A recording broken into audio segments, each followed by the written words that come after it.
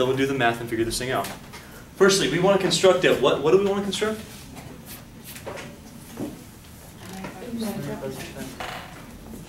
What type of confidence interval? 95%. That should tell you something, right? Okay? For the mean of IQ scores, the mean of IQ scores, that means the population IQ scores, so that means for mu. We're trying to find a confidence interval for, for mu. But these people are stuck. You see, they need to find out the sample first. They haven't taken any samples, so we're not actually going to be finding the confidence interval here. We're just going to give them the first step and say, you need to go out and take a sample of this many people. Are you with me on that? That's how you do it in real life. You say, well, I want to be within two points of the mean. Tell me how big my sample has to be. That's what you're going to do.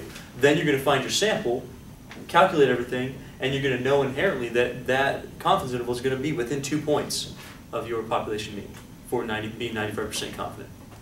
Are you okay with this, folks? All right, great.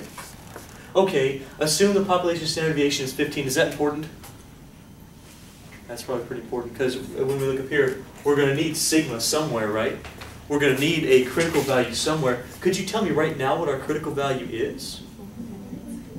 I hope so. Yeah, sure. It's based on your confidence level. We needed that. Also, we need our E. Now, it says a little bit further, I want the sample mean to be within two points of the population. What's that mean? I don't have mean, mean. What's it mean? I have the sample mean. I want it to be within two points of the population mean. Within two points means the maximum difference between them has to be what? Two. Has to be two. So what's my margin of error? Two. Now, the question, is it two? Is it 0.2 or is it 0.02? Are we dealing with proportions? Is that 2% or 2 points? If I had said 2%, we'd be dealing with proportions, and you'd be doing 0.02. Are you with me on that? I'm not dealing with proportions, so you have to get that out of your head. You are in two distinct sections here. You're either doing proportions, percentages, great, 0.02, right? It's going to say percent. Or you're going to be dealing with means. You don't change that to a decimal because it's not. It's not a percentage, it says points. So that 2, that's 2 points. So let's go ahead and let's verify all this information. Can you tell me again if we're trying to find out sample size, that's what this says, how big sample need to be. Tell me what my z alpha over 2 has to be one more time. And where are you finding that? 3. So 95% gives you 1.96. And our, and do we know our n yet? No, that's what we're trying to find. Okay, do we know our sigma? Great. Sigma stands for population standard deviation. It said that right up there. Assume it to be 15. That's awesome. And last thing we need to know, what's your E? 0.02 or 2? 2. 2. Two points. So be very, very careful, especially on a test. These problems are going to be worded really similarly, right? It sounds the same as the stuff we just did. It is the same. It's just you're in a different category. You're not dealing with proportions anymore, you're dealing with means. So the, the, the easy part about this is also the hard part about this. It's easy because this is literally identical to the last section, right? It's hard because it's almost identical to the last section, but there's differences in there.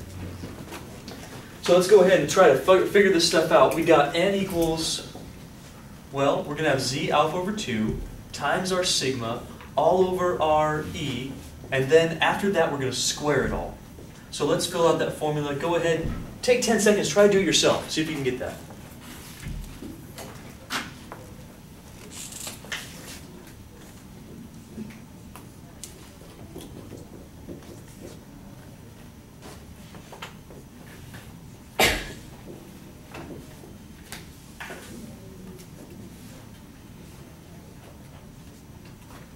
One point nine six, that's our critical value. Sigma, that's our standard deviation for the population, that's 15, we got that. Our E is 2 points, so we're going to put 2. We just cannot forget to square it. So how to do this in one fell swoop without rounding at all, take 1.96 on your calculator, multiply by 15, press enter, divide by 2, press enter, then square it, press enter, and you'll get, how much do you get exactly? I heard mumbling. What was it again? 216.09. How many were able to find 216.09? Good for you, okay.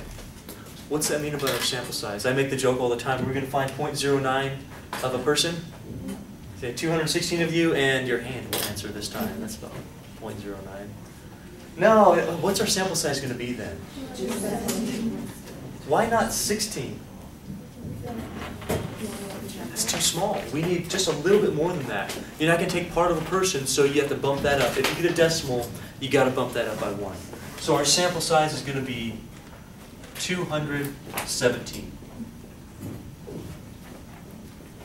Again, what this does for you, this says if you go out there with this information, and if you want to instruct a 95% confidence interval right now, you've got to go out and take 217 people, find out their IQ scores, and then that is going to, going to be guaranteed within two points of the actual population IQ score. Does that make sense?